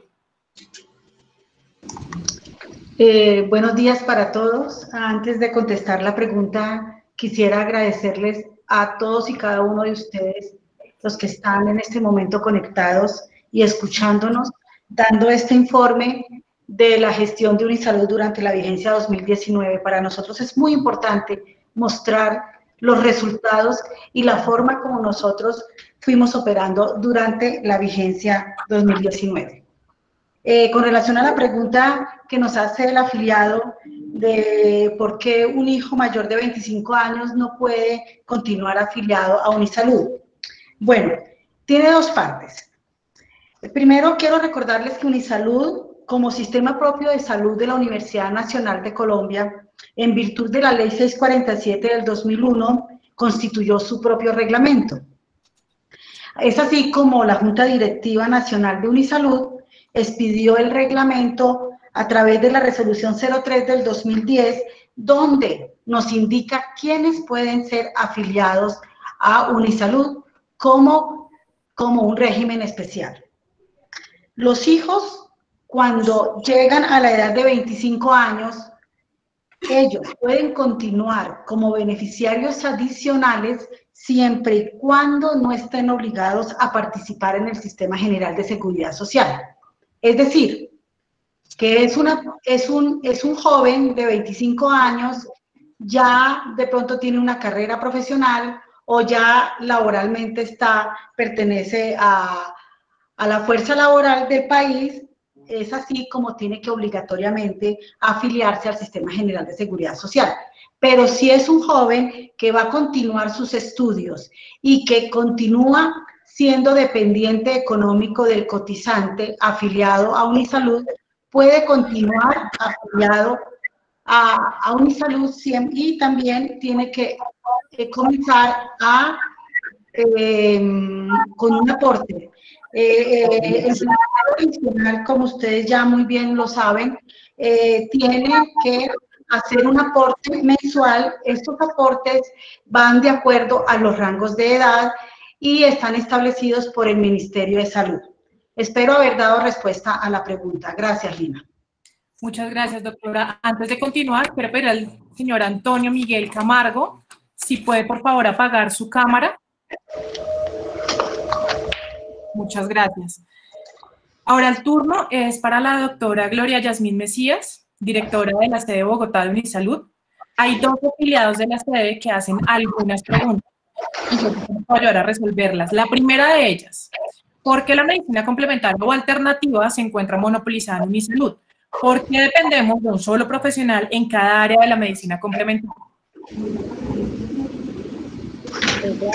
Muy buenos días para todos en cada una de las sedes. Agradecemos a los usuarios por las preguntas que nos han formulado. Con respecto a la programación y la contratación de los profesionales, no solamente en medicina alternativa, sino en todas las eh, áreas de la prestación de los servicios, se basa en una programación, es decir, una necesidad de servicios. No consideramos que la medicina alternativa tenga un monopolio como lo manifiesta el usuario en su pregunta. Básicamente nosotros en este momento tenemos contrato con las personas o los profesionales que cumplen los requisitos de habilitación. Entre esos requisitos de habilitación, en este momento, los profesionales de medicina alternativa tienen que contar con un título de especialidad, que es la principal característica, por lo que algunos profesionales que venían prestando sus servicios que no logran cumplir con este requisito de ley, pues no pueden continuar con nosotros en la contratación. Tenemos diferentes eh, profesionales contratados e incluso para este año eh, estamos adelantando un proyecto con la Universidad Nacional, con el programa de maestría que tiene la Universidad de Medicina Alternativa para poder contar también con este tipo de profesionales. Gracias, doctora. La otra pregunta es acerca del cobro de multas por inasistencia a las citas médicas es posible que algunas de estas citas que me están reportando, dice el, afiliado, se hayan incumplido, pero quiero saber cómo y quién me puede mostrar las evidencias del incumplimiento. Adicionalmente nos dice, ¿por qué reportan citas incumplidas de vigencias pasadas? Ok, bueno, eh, primero quisiera aclarar que nosotros no tenemos citas incumplidas de consultas médicas. Eh, las citas incumplidas están relacionadas con citas odontológicas, de terapias o citas de los programas de promoción y prevención como lo establece la norma. En la norma, las citas médicas generales o de especialista no tienen eh, cobro de cita por inasistencia. Con respecto a las mm, evidencias de las citas, claro que sí. Nosotros tenemos una trazabilidad que inicia desde el momento de la asignación de la cita, es decir, con la agenda, y posterior a eso el registro del incumplimiento. Los usuarios que tengan dudas con respecto eh, a esas citas que se les están cobrando en Unisalud, en cada una de las sedes y particularmente en Bogotá, tenemos una persona encargada de esta área quien les puede de forma puntual indicar cuál fue la fecha y el motivo por el cual se está haciendo el cobro de esa multa por cita incumplida. ¿Por qué se cobra vigencias anteriores? Eh, la norma también de esa manera no lo exige, que nosotros debemos cobrar las vigencias permitidas por la norma. Lo que sucede también es que los usuarios, a pesar de que estamos cobrando vigencias anteriores, no hacen sus pagos, por lo tanto siempre estaremos cobrando pues, las vigencias a que haya lugar según la norma. En este momento, eh, las vigencias que se están cobrando son vigencias de hace tres años atrás y el año en curso. Espero haber dado respuesta eh, a la inquietud de nuestro usuario. Muchas gracias, doctora Gloria Yasmín. En este mismo sentido, quiero invitar también a la doctora Mireya Cruz, quien es la jefe de la División Nacional de Servicios de Salud, porque recibimos dos preguntas de nuestros afiliados que sabemos que usted nos puede responder también relacionadas con, con tema de Bogotá. La primera de ellas es, ¿cómo se selecciona la red de prestadores de Unisalud? ¿Qué aspectos se tienen en cuenta? Gracias. Discúlpenme que no me quite el tapabocas, pero estamos compartiendo la oficina con la doctora Olga, dado que yo no tengo cámara.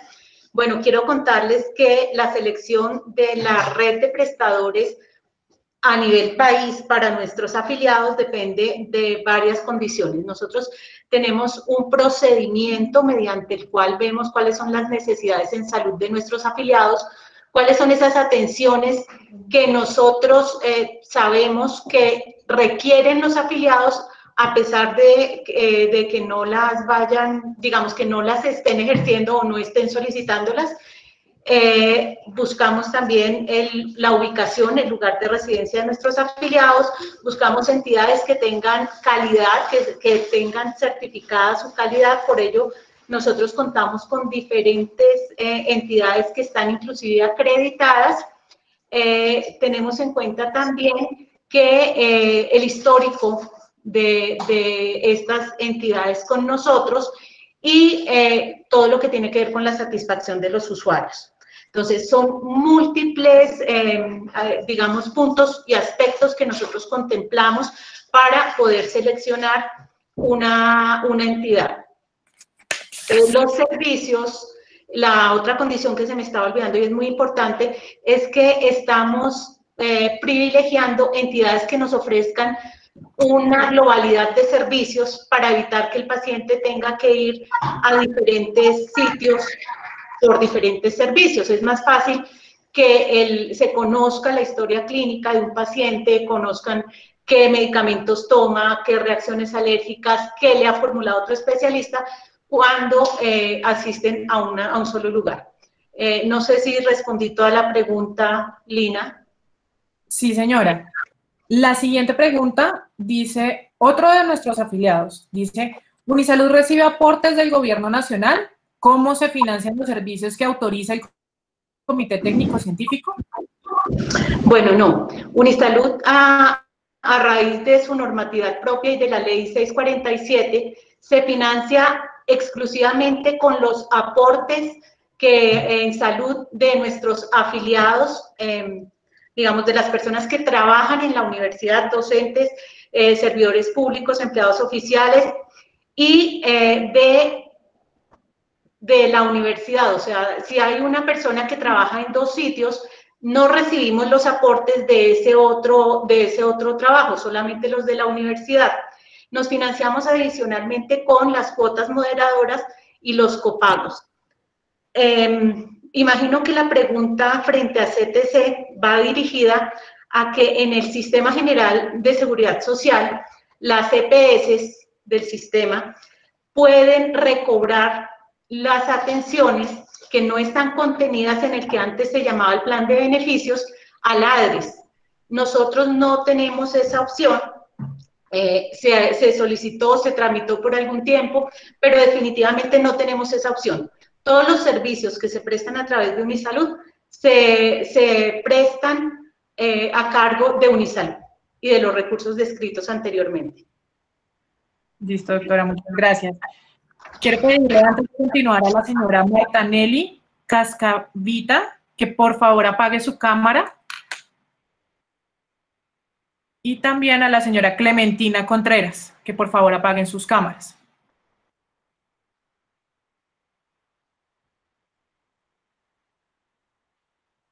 Muchas gracias. Doctora Isabel Cristina Baena, jefe de la división, jefe de la sede de Unisalud Medellín. El turno ahora es para usted. Uno de los afiliados de la sede nos pregunta, ¿cómo se ha realizado y se seguirá realizando el seguimiento de los pacientes que están adscritos a los programas de enfermedades crónicas? Gracias, Lina. Buenamente, eh, nuevamente buen día para todos. En realidad, nuestros pacientes de enfermedades llamadas crónicas son una de nuestras principales preocupaciones en Unisalud, dado que corresponden muy bien a la información que ahorita veíamos de enfermedades que son las prevalentes en nuestra población. En ese sentido, durante el año 2019 mantuvimos los controles establecidos según las eh, edades y según la periodicidad de cada una de las patologías y en este 2020 y dada la situación especial que tenemos en este momento por la pandemia del COVID-19, pues nuestros pacientes no han estado desamparados o desatendidos. Nuestros pacientes hacen parte de una información que nosotros estamos permanentemente analizando, recopilando, y en la medida que esa información de cada uno de los pacientes es analizada por nuestros médicos y nuestra enfermera jefe encargada también del seguimiento a los programas, pues se están priorizando y la priorización consiste en hacer con ellos un diagnóstico que incluye no solamente la toma de los exámenes de laboratorio, sino el seguimiento por el médico vía telefónica como hasta ahora se ha hecho. Y en ese seguimiento enviamos el laboratorio a la casa del paciente con el fin de que no se tengan que desplazar. Los exámenes de laboratorio son tomados a domicilio por nuestro laboratorio encargado o contratado para ello, el laboratorio Chavarría, y una vez tenemos los resultados, se prioriza la atención. Se prioriza en el sentido de decir, hay que ajustar el medicamento o el tratamiento que el paciente tiene, o en su defecto, y si el paciente no puede ser, eh, digámoslo así, manejado desde el sistema que en este momento estamos teniendo de teleorientación, lo remitimos a cualquiera de nuestras IPS prestadoras. Es importante también anotar que para los días siguientes y dado que todas las evidencias nos eh, indican que esta situación va a continuar y por mucho rato probablemente, vamos a iniciar nuestras visitas de control domiciliario a los pacientes. Y aquí aprovecho para hacer una invitación. Esas visitas no las podemos hacer simplemente porque a Unisalud se le ocurre que vamos a ir a nuestros pacientes, ya los tenemos caracterizados y de alguna manera agrupados para iniciar con ellos este manejo, pero necesitamos el aval o la aquiescencia de ellos para poder acceder a sus condiciones, a sus casas, a poder mi salud llegar hasta ellos de una manera presencial y poder hacerles el seguimiento que requieren.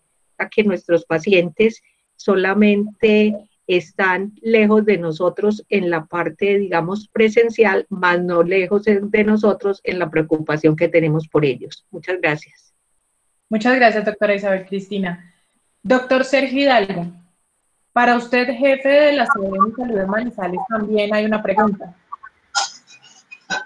Uno de nuestros afiliados nos dice, ¿cómo ha sido el proceso para recibir manifestaciones a través de Aranda? Eso se implementó el año pasado, ¿verdad?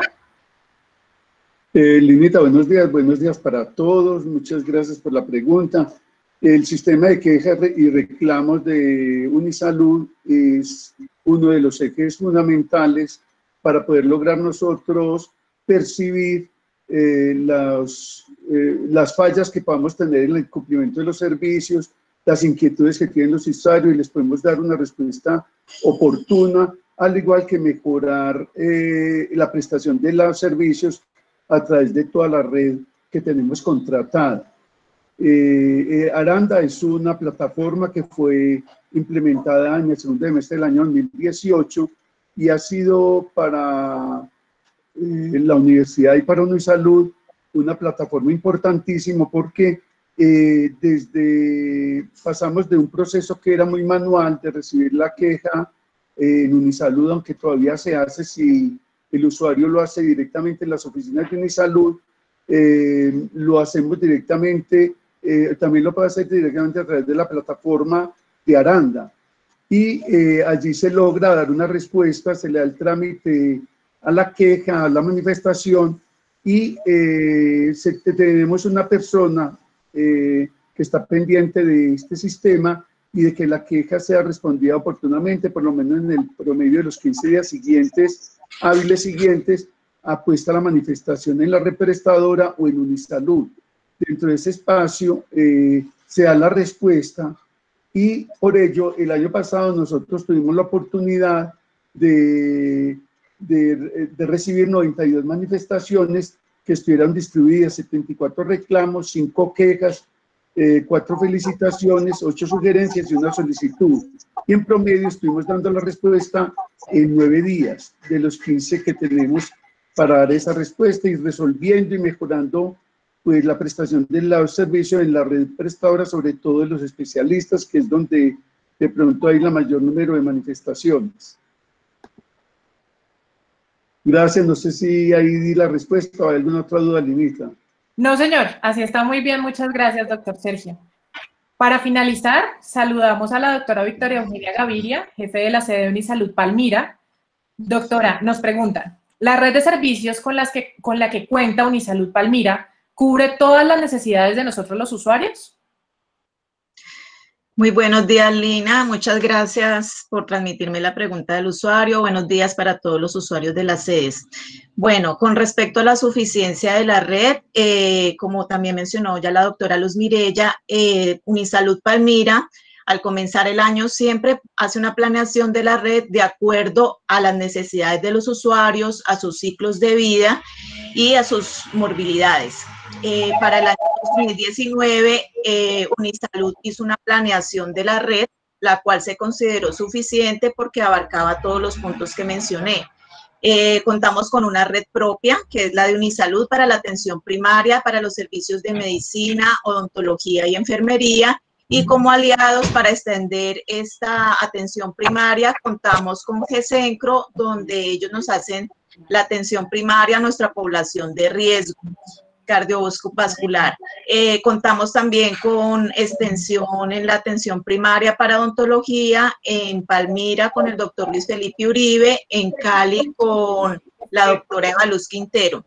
Para complementar esta red, pues, se han realizado 42 órdenes contractuales en los diferentes niveles de complejidad para lo que es la atención de hospitalización e urgencias. Contamos en la ciudad de Palmira con la Clínica Palma Real en la vigencia 2019. Para este año, pues eh, nuevamente Clínica Palma Real hice un avance, fue ya el contrato con la Clínica Santa Bárbara. Para la ciudad de Cali, desde la vigencia 2019 y para este 2020, contamos con las entidades de eh, Clínica Remedios, Clínica de Occidente, eh, Dime, Fundación Valle de Lili y para la parte de salud mental con ciclo vital. Para las otras eh, niveles de complejidad entre media, baja y pues alta, eh, se cuentan pues con otra red de apoyo para la parte de imagenología diagnóstica, para las especialidades tanto médicas como odontológicas. Este año también por la parte de vacunación domiciliaria, pues se realizó una ampliación en la cobertura de los contratos con TIAN, una IPS para, la, ah, para Palmira y para Cali con IPS Farallones para poder cumplir con la vacunación domiciliaria de los usuarios de acuerdo a los requerimientos. No sé si quede contestada la pregunta o quieran algo al respecto. Muchas gracias, Lina. Con mucho gusto, gracias a usted. Antes de finalizar con la sesión, em, quiero darle paso a la doctora Diana Spitia, quien es asesora jurídica de la Gerencia Nacional de Unisalud. Tenemos una pregunta que nos llegó al chat. Sé que han llegado muchas, vamos a tratar de responderlas ahorita y las que quedan pendientes las vamos a responder todas en el acta em, que, se va a encontrar publicada en la parte de audiencia pública, rendición de cuentas de la página web de Unisalud. Doctora Diana, la pregunta la hace Jorge Andrés Acero y nos dice, ¿qué proceso se ha realizado para los recobros del FOSIGA o ADRES, aportes realizados por los cotizantes beneficiarios? Esto, por supuesto, en la vigencia 2019.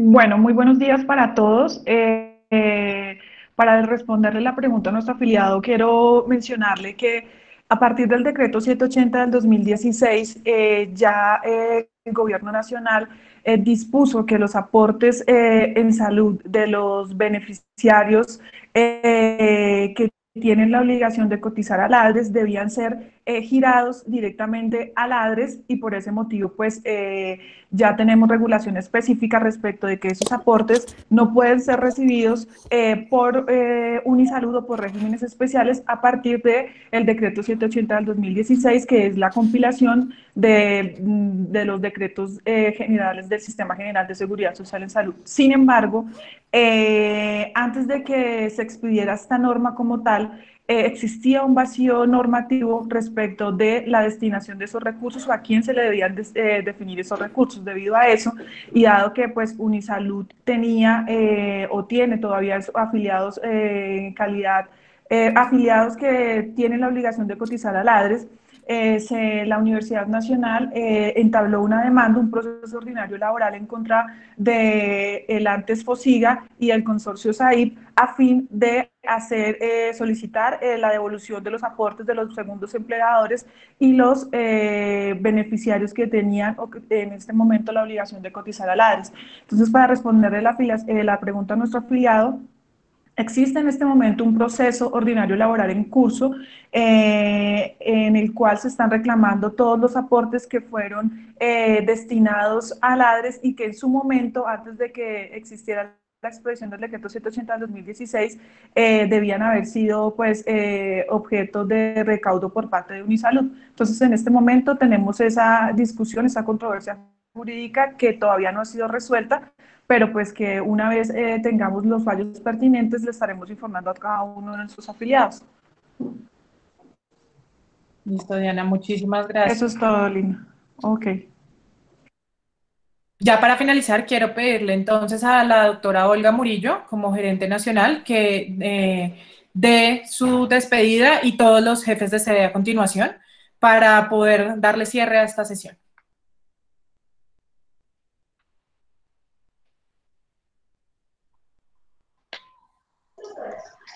Pues muchísimas gracias por la participación a esta invitación que hicimos.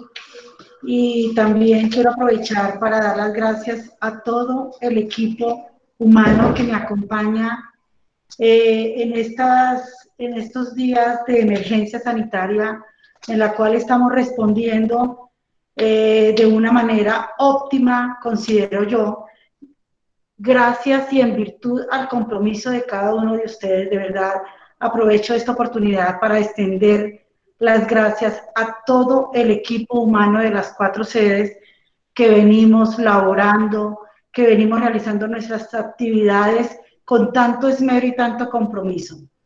Y a nuestros afiliados, que, nuestra, que es nuestra razón de ser, eh, queremos seguir cumpliendo y garantizando el servicio de salud para todos ustedes. Eh, para nosotros es importante seguir recibiendo sus, sus comentarios, sus manifestaciones y vamos a continuar respondiéndolas a cada uno de ustedes. Muchísimas gracias. Doctora Cristina. Gracias, Lina.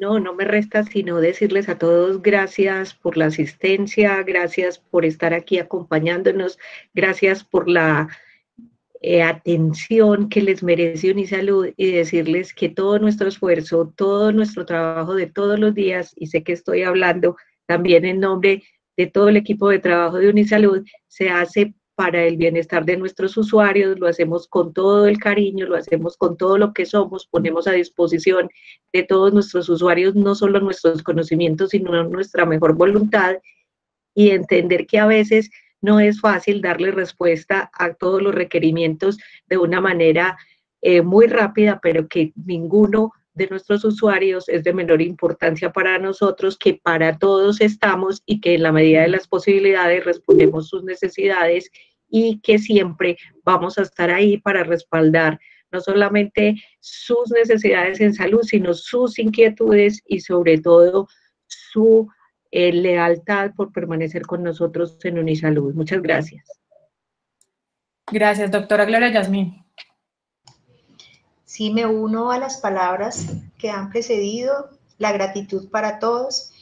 Recordarles que estamos fortaleciendo nuestro modelo de gestión de riesgo con énfasis en la gestión del conocimiento, elementos muy importantes para poder operar un sistema de salud. Decirles a todos que este es un momento muy importante para fortalecer el cuidado. Tenemos previsto que las siguientes semanas son muy fuertes en el tema de contagio por COVID Así que el uso adecuado del tapabocas, la limpieza de manos, quedarnos en casa es muy importante. En ese sentido, Unisalud está comprometido y esperamos poder ofrecerles todos los servicios que ustedes requieran eh, en sus domicilios. Recuerden, no tienen que venir a Unisalud. Tenemos todas las herramientas tecnológicas que nos permitan atenderlos en sus domicilios. Les recomendamos mucho este cuidado para que este proceso que nos está el cual estamos enfrentados salga con el mayor éxito posible. Muchas gracias y un feliz día para todos. Gracias. Doctora Luz Mirella Cruz. Gracias, Linita. Estaba eh, leyendo los comentarios en el chat. Eh, realmente agradecerles a todos nuestros afiliados eh, por estar en esta rendición de cuentas que desde que la estamos llevando creo que es la rendición de cuentas que ha tenido eh, más asistencia. Les agradezco muchísimo. Creo que esta herramienta ha sido muy valiosa. Nuestra razón de ser, como decía la doctora Isabel Cristina, son los afiliados. Nuestra, yo he visto algunas preguntas relacionadas con la sostenibilidad de, de Unisalud. La sostenibilidad de Unisalud está en manos no solamente de las personas que laboramos en Unisalud, sino de nuestros afiliados.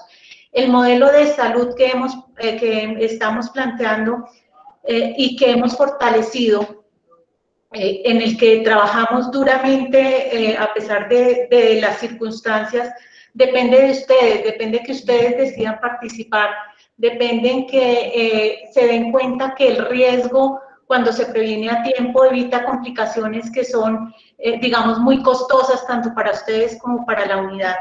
Entonces, les agradecemos mucho eh, hemos visto que algunas personas han preguntado que dónde podrían consultar determinados temas. Esos temas están siempre disponibles para ustedes. Eh, pueden acudir a las sedes eh, con, pues, con, los líderes de las sedes y ellos con mucho gusto les permitirán el, el soporte. Entonces, trabajamos para ustedes, queremos ser lo más transparentes, eh, y con, con todo, con, con, toda la, con toda la ética y con todo el amor estamos trabajando. Feliz día y por favor cuídense mucho, eviten salir de la casa. Muchas gracias, doctora. Doctora Victoria Eugenia. Eh, sí, gracias, Lina. Bueno, no, nuevamente, como han dicho todos mis compañeros, agradecer, eh, agradecer esta nutrida asistencia, porque sí, yo creo que ha sido de las más altas eh, y se ha facilitado pues por los medios tecnológicos. A Tilina, muchas gracias porque pues ha sido un apoyo muy grande en, en, esta rendición de cuentas para la logística. Eh, a la gerencia, a mis compañeros, a todos los colaboradores y las, mis colaboradores de la sede Palmira, que todos tienen ese alto compromiso, la camiseta puesta, pues como dijo la doctora Isabel Cristina, pues porque estamos trabajando en pro y el bienestar de nuestros usuarios. a nuestros usuarios que se cuiden, eh, pues no solo ahorita pues por la pandemia, sino siempre se, eh, la responsabilidad del autocuidado. Pues nosotros como salud y equipo pues somos mediadores, pero pues la corresponsabilidad es muy importante. Eh, una feliz tarde para todos y hasta un próximo encuentro. Muchas gracias, doctora. Para cerrar, doctor Sergio. Bueno, a todos, me uno nuevamente a todas las manifestaciones dadas por todo el equipo de gerencia, a mis compañeros de jefes de división y directora de la sede de Bogotá, a todos los usuarios, mil y mil gracias por habernos escuchado, por enterarse de este informe de gestión. En la medida que conozcamos la realidad de Unisalud, todos vamos a colaborar para mantener estos excelentes servicios.